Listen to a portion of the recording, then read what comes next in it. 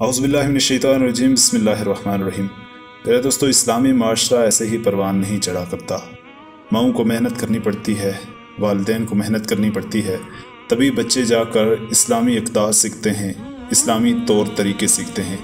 ایسی ہی ایک ویڈیو ہم آپ کے ساتھ شیئر کرنے جا رہے ہیں۔ ہم سلیوٹ پیش کرتے ہیں ایسے بچوں کے والدین کو، جو کہ اتنی پیاری تربیت کرتے ہیں اپنی اولاد کی۔ یہ ایک چھوٹی سی بچی ہے جو وضو کر رہی ہے اور پاس ہی اس کا بھائی بیٹھا ہوا ہے، جو کہ مسواک کر رہا ہے یعنی نماز کی تیاری ہو رہی ہے۔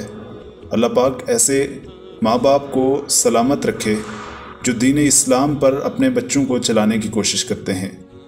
آج کل تو ماڈرن بننے کے چکر میں ہم لوگ اسلامی تعلیمات کو بھولتے چلے جا رہے ہیں۔ ہمارے بچے نماز کے ٹائم اونچی آواز میں کارٹون یا ٹی وی وغیرہ پر کچھ بھی دیکھ رہے ہوتے ہیں، لیکن ہمیں ذرا خیال نہیں آتا۔